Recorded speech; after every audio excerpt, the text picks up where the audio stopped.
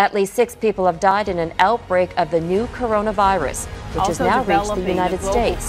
The Centers for Disease Control and Prevention has confirmed the first U.S. case has been detected in Washington state. The patient, who is in isolation, recently returned from Wuhan, China, where the SARS-like respiratory illness was first detected last month. Authorities there are disinfectant series of in the virus. They include cancellation of upcoming Chinese New Year celebrations.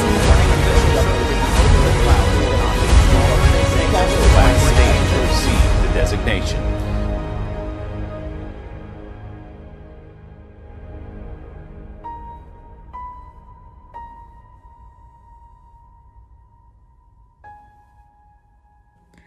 Okay, so it's 12:51 at night and I was kind of just thinking about what happens when all of this is over. Like when they announce it's over. How long is it going to take for people to actually go outside again? How long is it going to take for things to be normal or if they're even like going to be the same? Like people still want to hug each other? Will people still get scared if someone coughs in public? Like, what's going to change? And how long will it take for things to be the same again? I did not brush my hair and I have no makeup on. So you're welcome.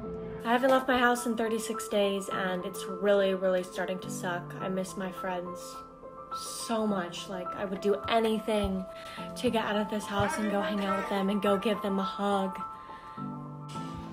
So, right now, I'm heading to my friend Victoria's house to pick up some yeast for um, a project we have to do for Microbes of Man tomorrow. We're eating pancakes. Um, it's a new tradition that we've started.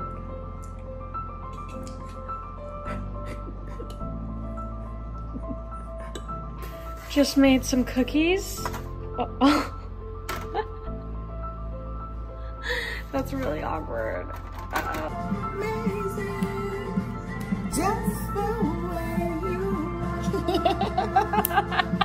Two, one. What? Wait, somebody just said something. What was that? Hamlet. It's Hamlet. yep. Oh, was it Ophelia? Sorry, I, I kind of forgot that you I had like. drowned. forgot about Hamlet. we love our seniors. Um, it's a new tradition that we've started since um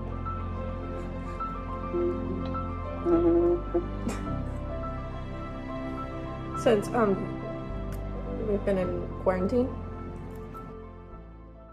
I'm ATE's Nick Alexander, and today I'm going to teach you how to make spaghetti alla mode, one of my favorite dishes to make at home. Hi everyone. Today in quarantine we are going to be making brownies featuring my mom. Her sous chef. Okay. What up, ATE Kitchen? Um, I'm gonna be making arepas, which are like a common Venezuelan like, like dish, I guess. I don't know how to describe it. Gently rub it against the zester. There's a small this, and I don't know if that's correct, but apparently I have to let it wait for three minutes. I think everyone's just so bored. We've all learned how to become professional chefs. I mean, I've never touched a stove in my life, and here I am trying to make fine cuisine. What is going on right now? Everyone is just so, so bored. That's all we have. And enjoy. Good morning from my bed on. It's Monday. I think it's May 4th. Yeah. So, um, I don't know if you can hear it behind me, but, uh, there's a huge food truck back there. I had this, like, I don't know. I was trying to, like, piece my thoughts about quarantine. I haven't really, like, thought about it a lot, or, like, I don't know, put, like, deep thought into it. But I did today, just because I'm so bored, and I just started thinking about like, what am I doing during quarantine? What is, what are my thoughts? And I don't know.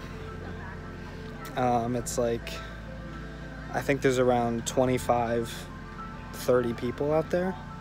Um, this is exactly the problem that, that I feel like I don't know how to feel about quarantine because I've seen so many like there's I feel like there's a whole like quarantine culture if that makes sense about like people doing this and people doing that and you have to be productive during quarantine or this is the time to like relax and do nothing with your life or whatever um, whatever. And I don't know how to feel about that. There's so many different things that people are doing that it's like influencing other people and to me, I'm not really picking up on those um, other things that people are doing. I'm kind of just going at my own pace, doing what Hunter would do, like normally. I don't know. Uh, I, I'm not following what other people. I, not that I have to. I just I don't feel like doing what other people are doing and following what they're doing or taking. I don't know. This whole like culture is weird to me. I don't know. I've just been doing kind of whatever. Um, my parents obviously have limitations on me, and like they don't want me to like visit people and go out of the house and whatever. But I'm just existing. I'm. I should be productive, but I don't feel like it. I don't.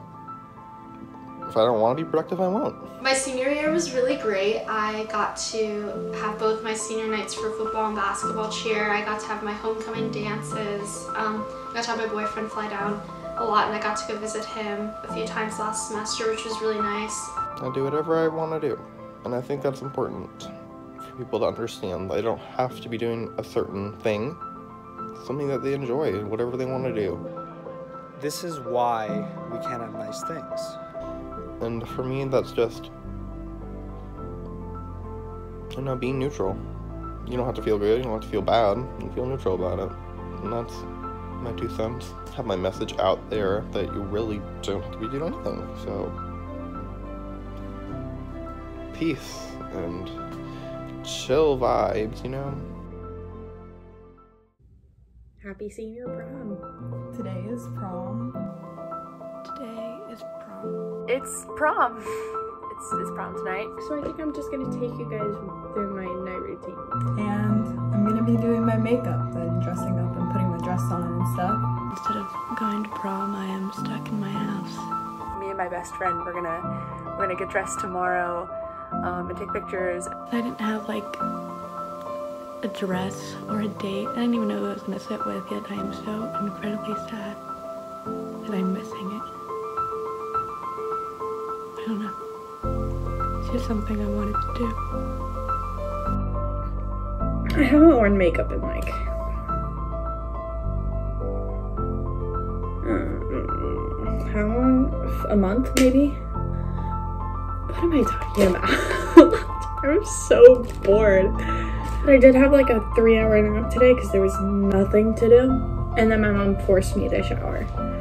So I'm kind of like up and about. And I had like four cookies, like just now. So I would have to say like my mental health has been like very plummeting during all of this. Like I'm just not used to being in the house for so long and just being like with my family for so much. But like if you can, just like try and go outside, try and do as much as you can. Like be outside. Like if you have a pool, go lay out at your pool. Like if you have a car and you can drive, like just go for a drive. Guys, it is April 26th. It's around 6.30 in the afternoon and um, I'm currently on the lake with my cousins and we did some wake surfing today, some tubing, and um, it's been a fun day. It's probably like the first thing, like active thing um, that I've done in the past like mo two months. Here's me and my mom doing some yoga. One of the positive things quarantine has brought me is a lot of bonding time with my family. And my family as a whole has gotten to spend a lot more time together, whether it's playing board games or just having a lot more family meals than we usually get to or hanging out outside together. I'm just really thankful that quarantine has brought me closer to my family before I go to college and I don't get to see them nearly as much.